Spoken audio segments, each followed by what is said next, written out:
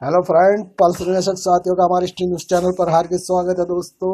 आज आपके लिए जो लेटेस्ट न्यूज़ लेकर आए हैं, वो आपके पैसे से रिलेटेड है दोस्तों।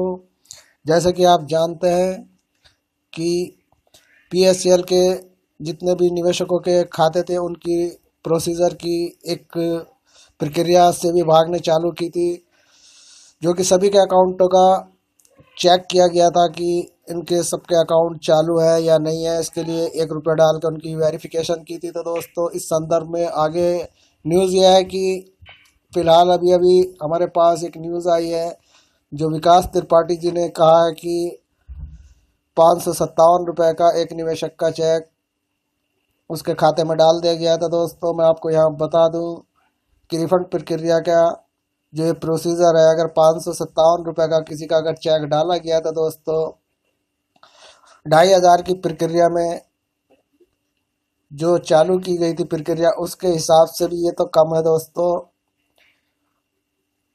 उनचास हज़ार सौ करोड़ रुपए की देनदारी ऑनलाइन पे क्या इसी तरीके से की जाएगी? किसी को पाँच सौ सत्तावन का चेक तो किसी को दो दो हज़ार का चेक। इस तरीके से अगर दोस्तों रिफंड प्रक्रिया का प्रोसीजर चालू किया गया तो निवेशकों का पैसा दोस्तों कहीं से कहीं तक नहीं मिलेगा।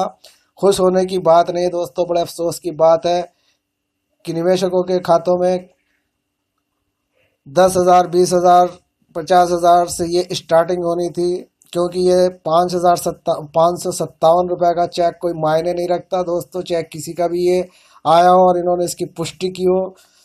तो दोस्तों, हम यही कहेंगे कि अंधेरी नगरी चौपट राजा इस वक्त जो रिफंड प्रक्रिया ऑनलाइन का प्रोसीजर है, ये बिल्कुल कहीं से कहीं तक सब निवेशकों को पैसा नहीं देगा तो दोस्तों, हमें संघर्ष अभी और करना है और इस संघर्ष से हमें जब तक निवेशकों के सही तरीके से पैसे देने की सार्वजनिक तौर से अपनी कोई सूचना नहीं देते तो दोस्तों ऐसे लुका छिपी के अकाउंटों में डालने के प्रोसीजर को हम नहीं मानते और इसका बहिष्कार करते हैं।